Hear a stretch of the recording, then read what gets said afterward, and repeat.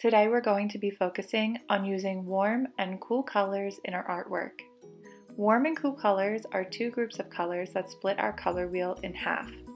Each color group reminds us of things that are warm temperatures or cool temperatures. First, we're going to be beginning with our warm colors.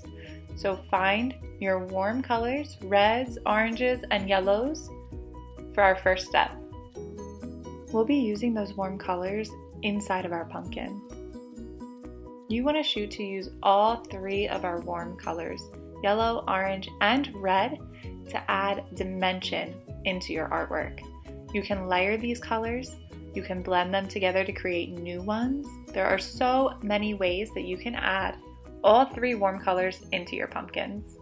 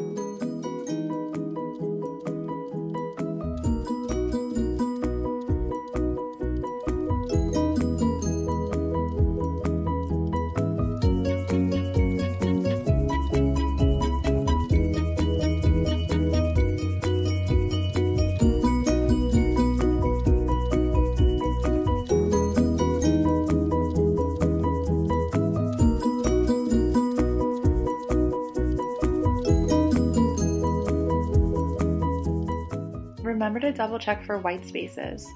You want to be sure that all of your pumpkin is totally filled in.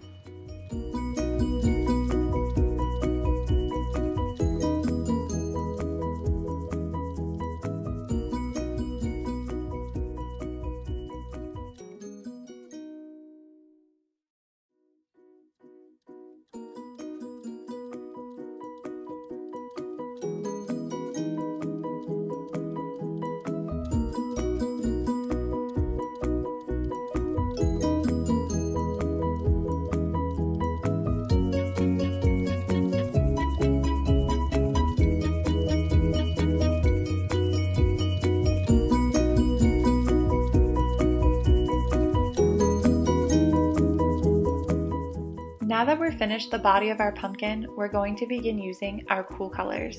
Our cool colors create the other half of our color wheel and they are our second group of colors that we're going to be using today. We'll be using our cool colors, greens, blues, and purples in the background of our artwork. You can choose any type of green, light green or dark green, to add color to your pumpkin vines and leaves.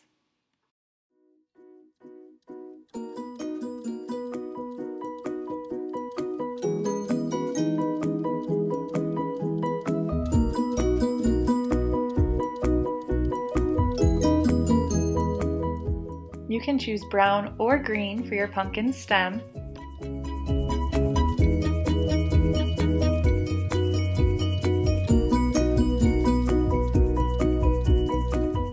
Feel free to use any color green to fill in your grass. If you added details into your grass, you want to make sure that those stand out even with our crayon coloring. So you could choose to use more than one shade of green or you can use heavy pressure on your details and light pressure to fill in the grass. Use any color brown to add in a color for your soil. And if you chose to add in some details, you can use any color you need to to fill in your detail work or your insects.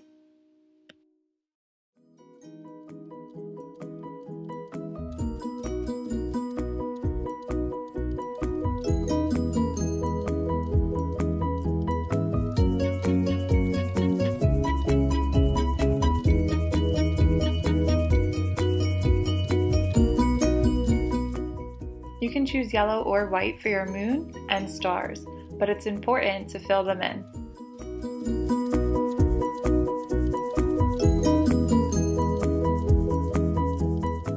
If you are following along with paint, you can move on to the next video.